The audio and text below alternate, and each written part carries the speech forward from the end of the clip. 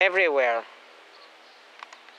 Some places it's close to the surface where you absolutely have to do it anyhow or suffer the consequences of volcanic eruption.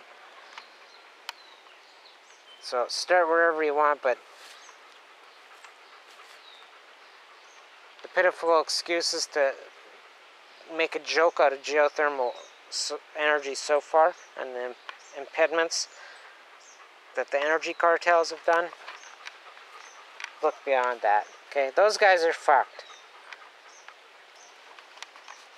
As it is, most of these oil wells, after they inject water back into it,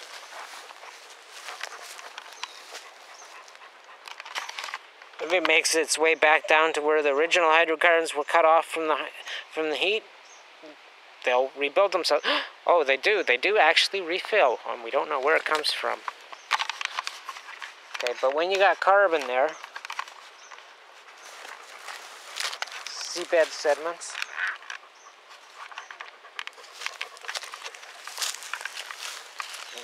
And it tends to change it. Whatever it goes through, it picks up.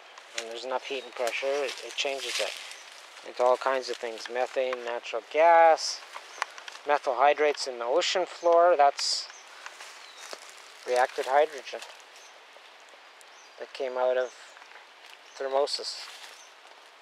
Chemical thermosis, probably. Oh, bud, I was just going to pack up and go.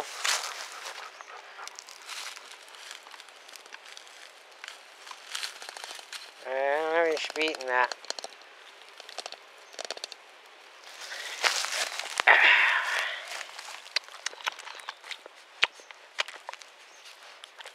Let me see that. Yeah, well, we'll let we'll let the coyotes have that, okay? No. Yeah, I, I don't want you eating anything here anymore. Okay? No, no. That's for the coyotes. No. Sorry, guys. Okay? I'm sorry, buddy. I know, that sucks. Hey, sorry about that. Sometimes you just have to say, no problem, eh? Uh, well, hey, okay, I, I hope, uh, I, I guess, I hope you guys got something out of that. It wasn't a great presentation or anything, but it touched on a few things. Like I said, I'll, I'll put some links down under more information where you can read a few pages to get you started. Clearly, you're all bored, you're fucked, you got nothing to do and no way out, so rather than go make war, go make energy, go make hydrogen. Hey.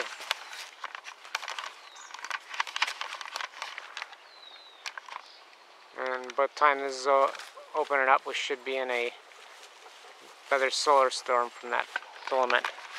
Speaking of go making hydrogen. Hey, peace out.